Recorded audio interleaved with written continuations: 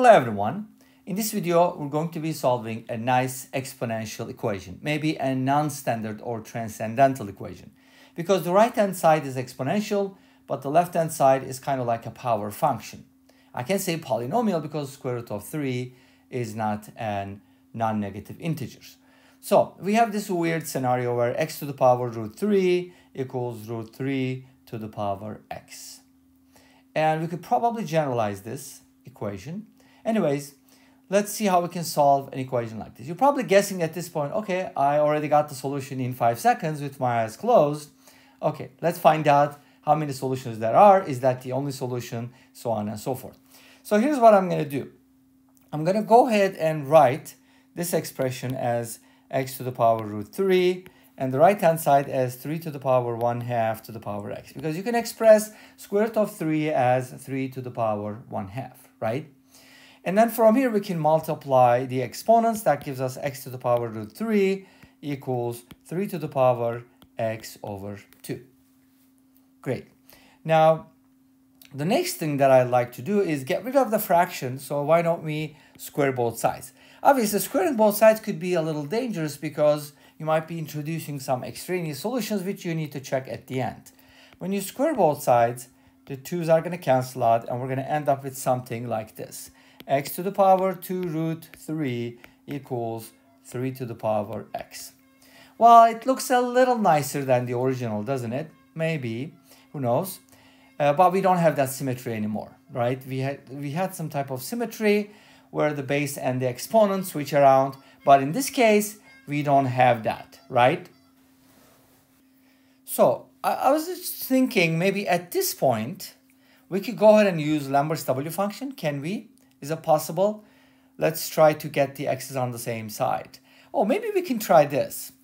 I can go ahead and keep the x where it is and multiply both sides by 3 to the power negative x, which is going to give me 1 on the right-hand side.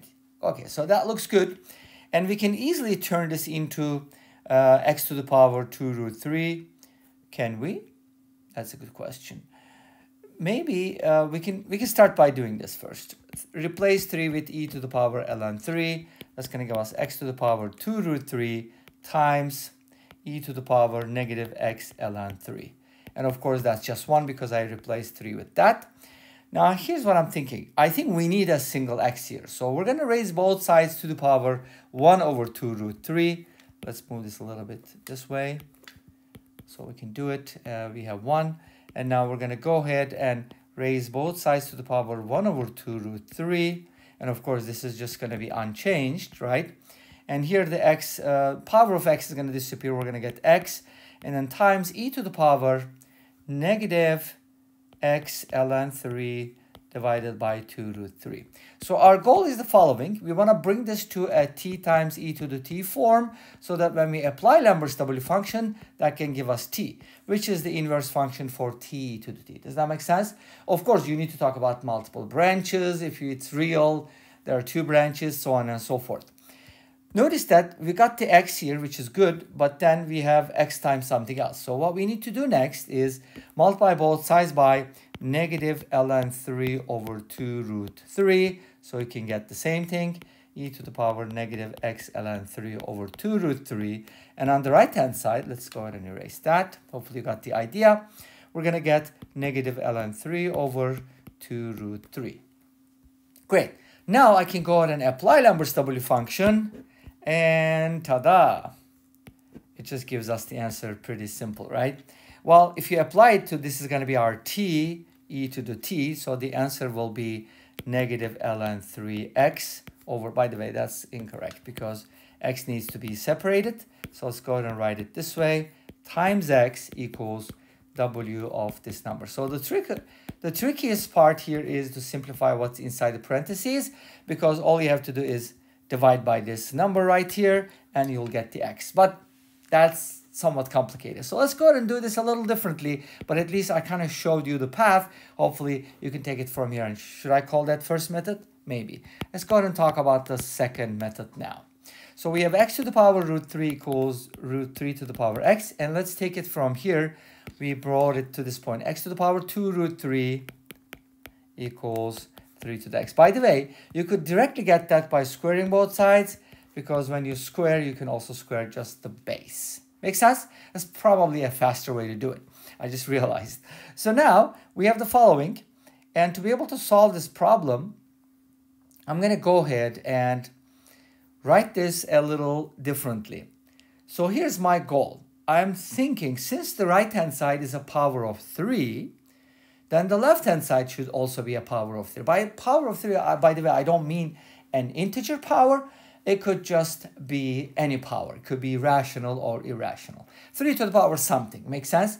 So why not replace x with something like this? Maybe x can be something like 3 to the power t, because t is uh, one of my favorite variables, also one of my favorite drinks. So now we can go ahead and do that on both sides. 3 to the t replaces x to the power 2 root 3, and then 3 to the power x, which is 3 to the power t. Nice. So we're going to go ahead and now multiply these exponents. That's going to give us 3 to the power 2 root 3t equals 3 to the power 3 to the power t. And from here we get another equation even though it doesn't necessarily super simplify, but at least we know that, okay, we now have 3 to the t equals 2 root 3 times t. And one of the things that's really nice about it is that root 3 is a power of 3, which is 3 to the power 1 half. So let's go ahead and divide both sides by root 3 to get rid of the irrationality on the right-hand side and put it on the left-hand side. Now root 3, as you know, can be written as 3 to the power 1 half. So now I have 3 to the power t divided by 3 to the power 1 half equals 2t. Or not 2t. If you're a tutor, then you have 2 t's, right? Anyways, 2b didn't work in this case, so it's 2t.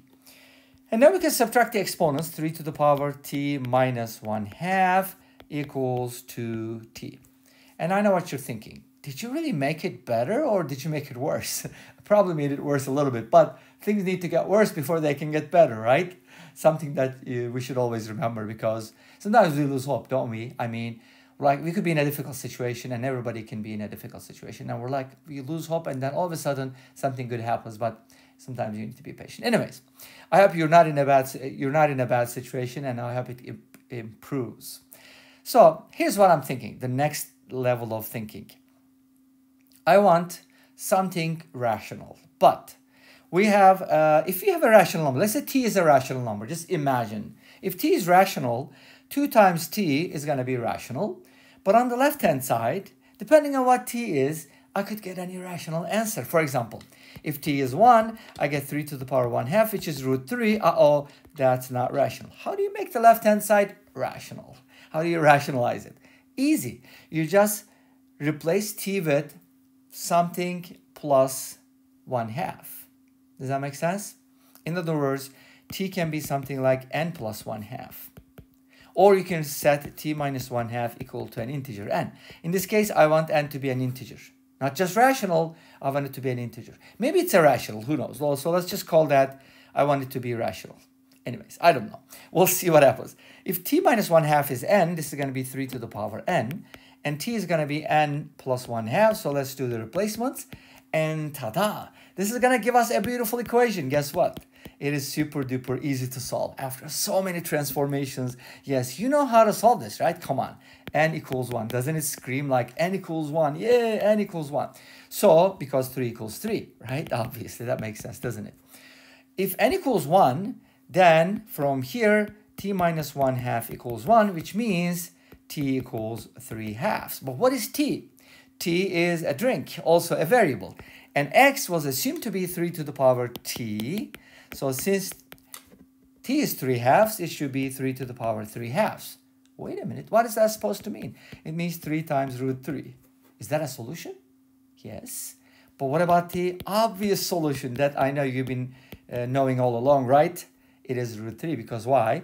Root 3 to the power root 3 equals root 3 to the power root 3. So x equals root 3 is another solution. Maybe it's the first solution you should find. And 3 root 3 happens to be the second solution. Because if you plug it in, you're going to realize it works. Let me show you a couple things before we finish. First, the graph of these two functions. And notice that they intersect at two points, at root 3 and 3 root 3. Why? that can be explained by first numerical solution from Wolfram Alpha. Thank you very much for, the, for these. This is root 3. This is 3 root 3. They're both solutions. You can check it out. And then, ta-da, checking the curvatures of these functions at root 3, you realize that one of them has a bigger curvature, which kind of explains the picture here. Bigger curvature, so they will intersect at two points. Can you find the curvature on an interval? Yes, you can find the average curvature. Look it up. There are some really nice formulas. And this brings us to the end of this video. Thank you for watching. I hope you enjoyed it. Please let me know. Don't forget to comment, like, and subscribe. I'll see you next time with another video. Until then, be safe, take care, and bye-bye.